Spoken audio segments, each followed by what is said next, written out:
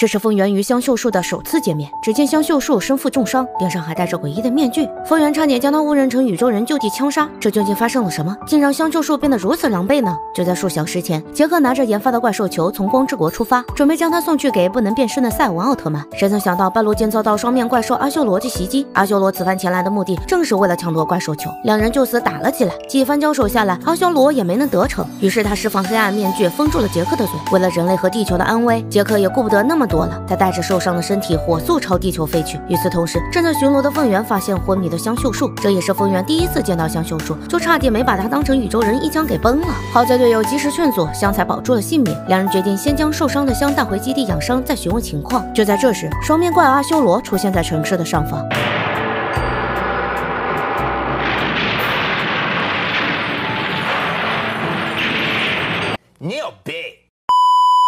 为了缓解尴尬，阿修罗口吐火焰，搞起了破坏。麦克队全员拔枪射击，都没伤到他一根毫毛。与此同时，香秀树也苏醒过来，看到正在作战的诛心团，他才意识到自己差点耽误了大事。随后，香立马骑着摩托车来到自己昏迷的地方。此时的怪兽球正被一群小孩当做玩具踢来踢去。香一番解释过后，成功拿回了怪兽球。紧接着，他来到战场，将怪兽球扔给了诛心团。下一秒，赛文加被召唤了出来。阿修罗压根就不把赛文加放在眼里，但几番交手下来，赛文加用自身的实力将阿修罗打得屁滚尿。交流，任凭阿修罗怎么攻击，赛文加都能成功抵挡。就在赛文加准备彻底终结阿修罗之际，脚下突然爆炸四起，赛文加又变回了怪兽球的模样。原来赛文加的战斗力只能维持一分钟，时间一到，能量就会耗尽，变回怪兽球。此时被打急眼的阿修罗将怒火对准了地面的三奥。就在他准备进攻之际，他通过特殊技能发现眼前的这三个人竟然没一个是正常的，这可把阿修罗吓了一大跳。惹不起我还躲不起吗？阿修罗只好逃离了战场。经此一事，凤元也得知了香秀树的真实身份。好在当初没下杀手，不然要经历吉普车特训了。随后，诛心团用奥特念力将香秀树的面罩解开。到了晚上，阿修罗再次入侵地球，就连麦克队的基地都遭到摧毁。诛心团立马派手下前去应战。面对阿修罗这般嚣张、年强气盛的风元，哪里忍得下这口气？他决定给阿修罗一点教训。随后，风元变身雷欧奥特曼现身。阿修罗嚣张至极，根本不把雷欧放在眼里。他凭借自己的优势将雷欧撂翻在地，而香秀树和诛心团都因受伤，只能在一旁干着急。就在这时，诛心团看到天上的月球全食。想到利用这个方法两面夹击阿修罗，